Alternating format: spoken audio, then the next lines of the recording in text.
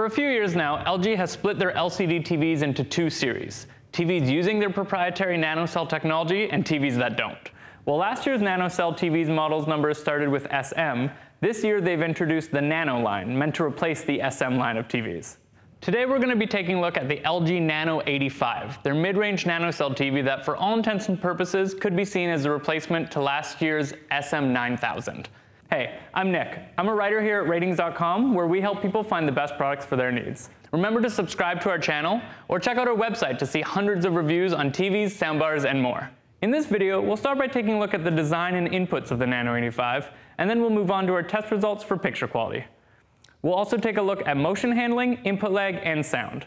Throughout the video, I'll be comparing it to last year's LG SM9000, one of LG's higher-end mid-range nanocell TVs of 2019. If you'd like to skip straight to our test results, see the links in the description below. We purchased the 55-inch Nano 85, but it's also available in a 49-inch as well as a larger 65-inch version. We expect these other sizes to perform very similarly overall, though of course with a larger TV you'd likely need a larger TV stand or wall mount rated for the extra weight. Let us know if you purchase one of these other sizes and your experience doesn't quite line up with our test results.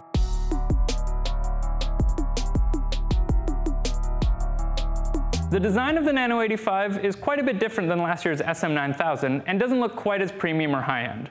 Overall, the TV itself looks very similar, but instead of the crescent-shaped center stand that last year's SM series had, this TV uses side feet that look similar to the entry-level UM series of LG TVs from 2019.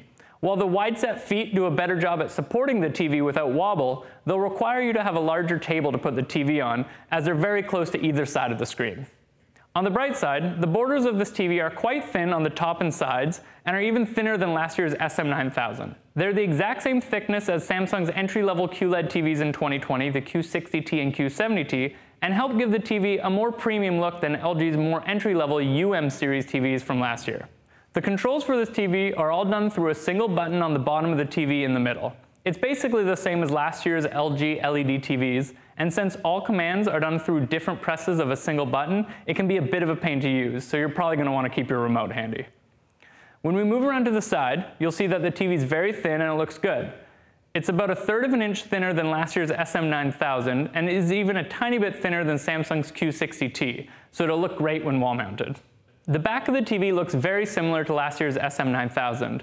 Except while there are still some side-facing inputs, much more of them face straight back than last year's model. This is a bit of a shame as they tend to be a little bit more difficult to reach if the TV is wall mounted, though at least some still face sideways. In terms of inputs, you've got two HDMI inputs on the side, as well as a single USB port.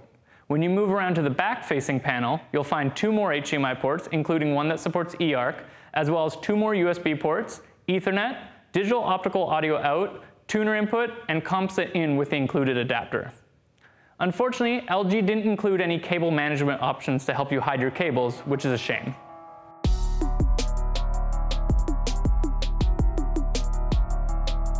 Now we'll move on to picture quality. As always, check out our website for an updated comparison with new TVs as we buy and test them. First up is contrast ratio. The contrast ratio is the ratio between the brightest white and the darkest black that a TV can produce, and it's generally considered one of the most important aspects of picture quality. TVs with a high contrast ratio appear to have more detail in dark scenes without those details getting lost in the gray. As with most LG LED TVs, the Nano 85 uses an IPS type panel. While these panels are much better for viewing angles than VA panels, which we'll talk about a bit more later on, they tend to be much worse for contrast, giving you poorer overall black levels and uniformity. While this TV has much better contrast than last year's SM9000 and most IPS TVs in general, it's still only okay overall, and blacks tend to look much more closer to gray when watching in a dark room, despite having local dimming. While there is a local dimming feature, this TV is still only edge lit. Therefore, the local dimming isn't nearly as accurate and effective as TVs with full array backlighting, where the LEDs are behind the entire LCD panel as opposed to only on the edges. The local dimming on this TV is very bad and makes darker scenes appear noticeably worse. You can clearly see the zones lighting up across the vertical axis of the screen, and though it's slightly better when set to medium, it's still very noticeable. While watching an episode of Stranger Things, it would light up parts of the letterbox bars on the top and bottom, and would flicker a ton if any light was moving between the different local dimming zones, which was very distracting. Overall, while last year's SM9000's local dimming was still disappointing, it wasn't nearly as bad as this. Now on to gray uniformity. Our gray uniformity test checks for issues with the panel where different pixels are all supposed to display the same color but might not. This can result in distracting areas known as the dirty screen effect, which is most noticeable during intense movement, such as while playing video games or watching sports. The gray uniformity of this TV is decent, and while there's some dirty screen effect visible at the center of the screen that can be distracting while watching sports, it may not be too noticeable to everyone. It's worth noting that gray uniformity can vary between units, even of the same model, so yours might perform differently than ours.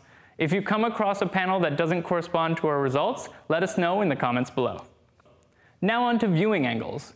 With LED screens, the image colors can degrade when viewing the TV from an angle, which can be an issue if you have a living room setup where the couch doesn't face the TV head on, or if you watch sports with a large group of people. Like I mentioned earlier, this TV uses an IPS panel, which tends to give much better viewing angles than TVs with a VA panel. While the viewing angles are slightly worse than last year's SM9000, this TV still performs much better than most VA TVs, and the image remains quite accurate when viewed from the side. If you want a VA TV with wide viewing angles so that you get good contrast as well as viewing angles, check out Samsung's Q80T or Q90T, which use Samsung's ultra viewing angle layer to improve viewing angles to help those TVs perform nearly as well as the Nano 85. However, those TVs are quite a bit higher end and will likely cost you a fair amount more. If your TV is in a very bright and well-lit room, good reflection handling is important to cut the amount of glare you see on the screen during dark scenes. The reflection handling of the Nano 85 is impressive and is actually slightly better than last year's SM9000. While its semi-gloss screen can somewhat diffuse reflections across the screen, there may still be some reflections noticeable in very bright rooms, though overall it should be good enough for most situations. SDR peak brightness refers to how bright your screen can get when watching most standard non-HDR content. A brighter screen helps your TV overcome reflections and glare during brighter scenes. Unfortunately, this TV can't get nearly as bright as last year's SM9000, and it'll likely have a hard time overcoming glare if you watch a lot of daytime TV in a room with windows. If you watch a lot of HDR content or play HDR games from your Xbox One X or PS4 Pro, then the ability to produce brighter regions of the image is important to produce impactful highlight detail. This is one of the most noticeable reasons why some TVs seem to really pop with HDR content while others don't. While this TV does support HDR, it can't really get bright enough with HDR content to really help make highlights pop. Its HDR peak brightness is quite a bit lower than last year's SM9000 and is disappointing overall. Also important for HDR is the ability to take advantage of the wider coloring spaces that content can be mastered in. While this TV's color gamut isn't quite as wide as last year's SM9000, it's still good overall and has an impressive coverage of the DCI P3 color space used in most HDR content.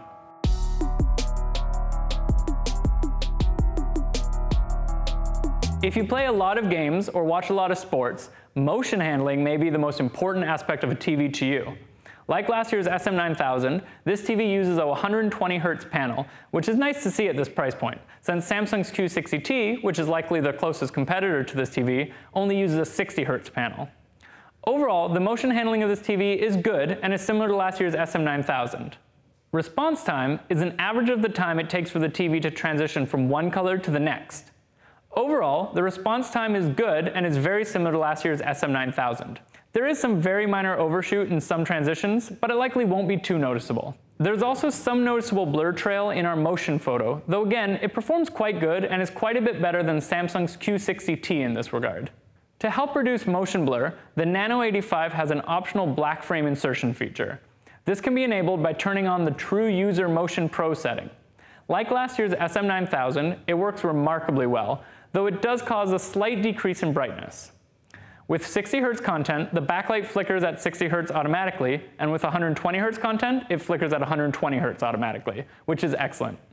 To learn more about this TV's black frame insertion feature, check out our written review linked below. If you plan on using your TV for gaming, input lag can be very important. While most TVs now have low enough input lag that you likely won't notice any delay, the lag of the Nano 85 with game mode enabled is very low, and it should be fast enough to not introduce any noticeable lag for most people. Like last year's SM9000, the Nano 85 is advertised to support HDMI Forum VRR variable refresh rate. We tried this via our HDMI 2.0 GTX 1060 and it doesn't work, but it most likely requires an HDMI 2.1 source. We'll pin a comment down below once an HDMI 2.1 graphics card becomes available and we're able to test this. Now on to smart features. Like with all LG smart TVs, the Nano 85 uses LG's WebOS smart interface. A lot of people really like WebOS for its easy-to-use interface and wide selection of available apps.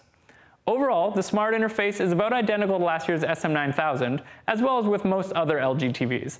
Like with the SM9000, this TV comes with LG's Magic Remote, which lets you easily scroll through the menus just by pointing the remote at the TV and moving it around to move the cursor around on the screen.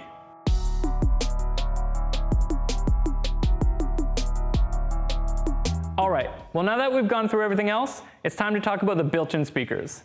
So how do they sound? Eh, pretty average for built-in speakers on a TV.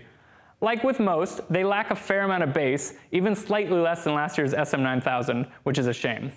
As with most TVs, you'll be much better off with a dedicated sound system or even a budget soundbar.